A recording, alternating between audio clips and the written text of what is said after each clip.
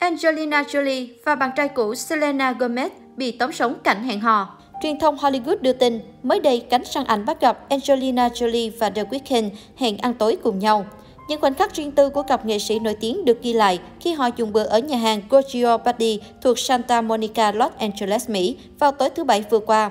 Họ dành khoảng 2 tiếng rưỡi trong không gian riêng tư tại nhà hàng Ý sang trọng và lặng lẽ rời đi cùng nhau. Nữ diễn viên diện nguyên cây đen và đeo khẩu trang, cô khá thoải mái, bình thản khi bước ra ngoài cùng giọng ca Blinding Lights.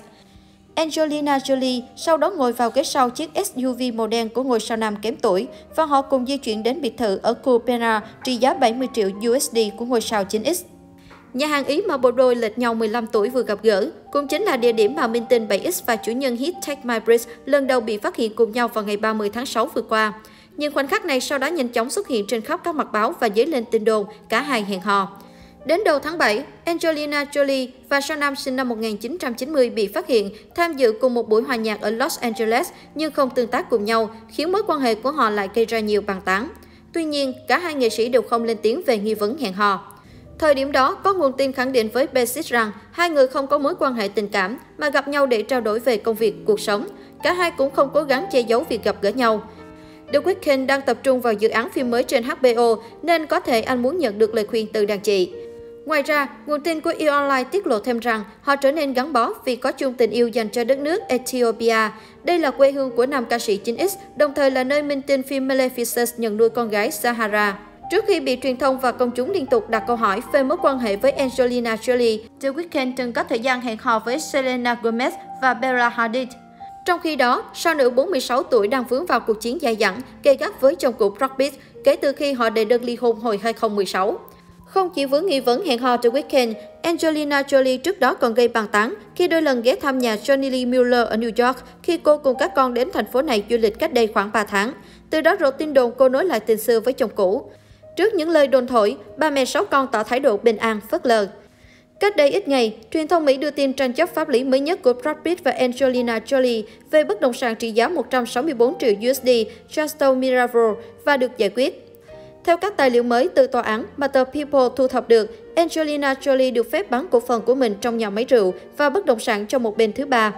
Angelina Jolie trước đây gặp phải vấn đề khi muốn bán cổ phần của mình tại Quimicum, công ty sở hữu và kiểm soát Chateau Miraval và liên quan đến cuộc ly hôn của cô với Brad Pitt.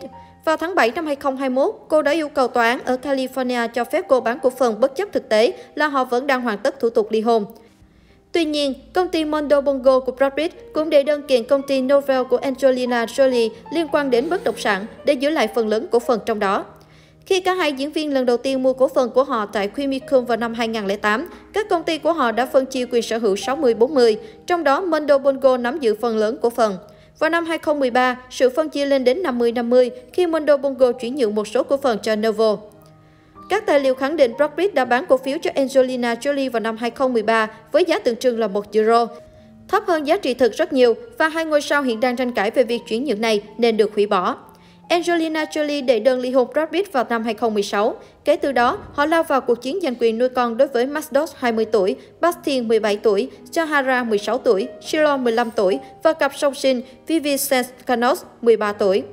Diễn biến vụ án mới nhất là vào đầu tháng này, các luật sư đại diện cho Brad Pitt đệ đơn lên Tòa án tối cao California đề nghị xem xét lại quyền nuôi con của anh.